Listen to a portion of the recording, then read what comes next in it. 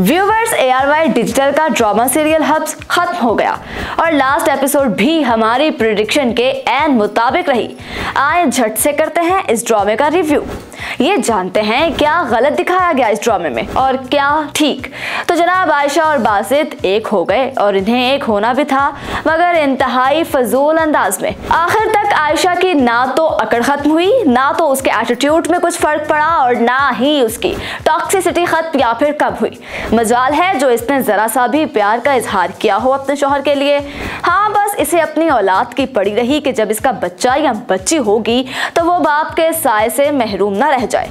इसीलिए इसे बासित की ज़रूरत थी। एक बार भी इसने ये नहीं कहा कि वो बासित के बगैर नहीं रह सकती और ना ही खुद मनाया इसने बासित को, बल्कि बासित ने इसे फ़ोन करके मिन्नतें करके बुलाया कि प्लीज़ एक बार मिल लो, क्योंकि मैं हमेशा के लिए पाकिस्तान छोड़कर जा रहा हूँ। फिर इसने घर की चाबियाँ भी दे दी आयशा को।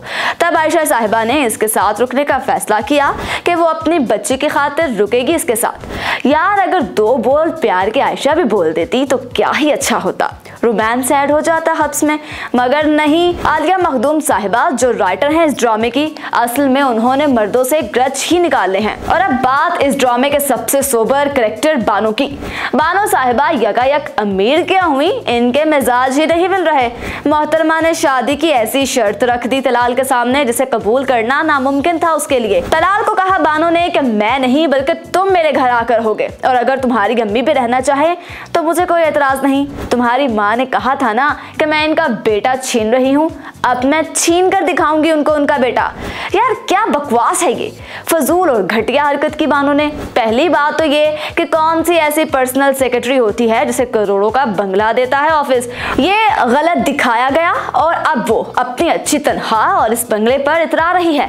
बानो साहिबा, आप साफ़ इनकार कर देती तलाल को शादी के लिए, पर ये सब ना कहती। असल में इस ड्रामे की राइटर ने सबसे अच्छे करेक्टर को ही स्पॉइल कर दिया। इससे इतने गलत डायलॉग्स बुलवाए, दूसरा ये कि इसकी शादी ही नहीं करवाई तलाल से। चले, ना करवाई जाती तलाल से इसकी शादी, और यार किसी और से तो करवाई जा सकती थी ना। ये एक ब्लंडर है। दूसरी तरफ़ बोबी फुप्पो की शादी वाकई सरप्राइज़ थी। इसने सबके चेहरे पर मुस्कुराहट बिखेरी। इस मूव की जितनी तारीफ़ की जाए, कम है। उधर जोया का खुद को बदल लेना और इसके शोहर आमिर का अपनी फैमिली को मना लेना अच्छा लगा।